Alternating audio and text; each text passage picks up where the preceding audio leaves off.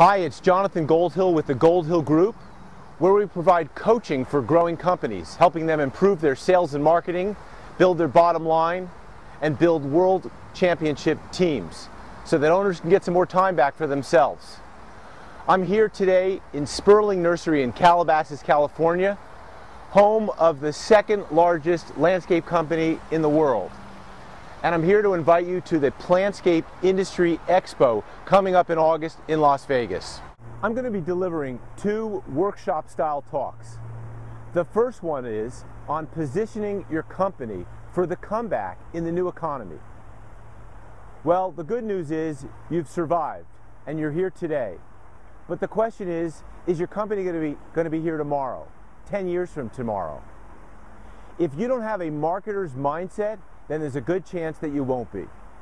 In my talk, I'll be talking about the tools that you need to grow your company in the next 10 years. Things that you need to understand, like Web 2.0, social media, and tools like that to generate leads on a consistent basis.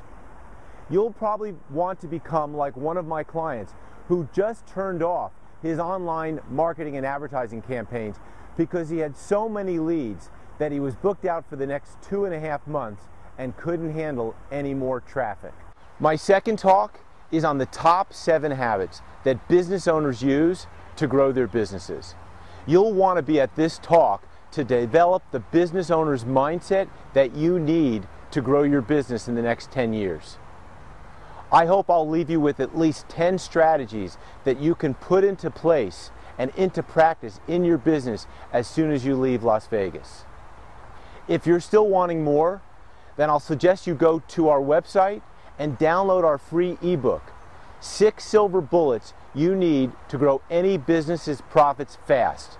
And check out our online learning academies, where you'll learn either 51 marketing strategies to grow any business and learn how to use the internet to generate an endless supply of leads for your business.